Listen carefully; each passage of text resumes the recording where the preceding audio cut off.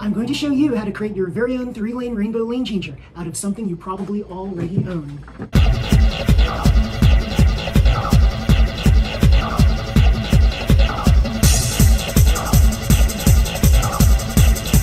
The lane changer is usually one of the most hated parts of a track. Here is where even the most stable cars can fly off the track. The rainbow lane changer is typically seen on five-lane tracks, but I've also seen it on three-lane tracks. I've seen it sold as part of an off-brand Tamiya track set.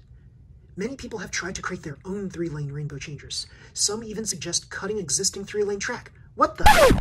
I'm going to show you how to create your very own three-lane rainbow lane changer out of something you might already own, a two-lane track. Guys and girls, don't throw away your two-lane tracks. You can use one of the four-section curves to build your own rainbow. Attach it like so. Be sure to have the two-lane wiggle track so that your cars don't end up going along the same two lanes over and over. The rainbow lets your cars go from lane 3 to lane 1.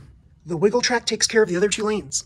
Use painter's tape to secure the rainbow in place. If you do it right, you won't have to snip off any of the tabs on the existing track.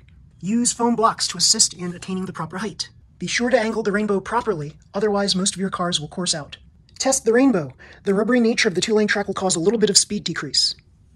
So there you have it, everybody. That's how you create your very own three-lane rainbow changer. A little ingenuity goes a long way. So if you like this video, everybody, please slam the like button, subscribe to my channel. You'll see more videos just like this one. Until next time, everybody, see you. Bye.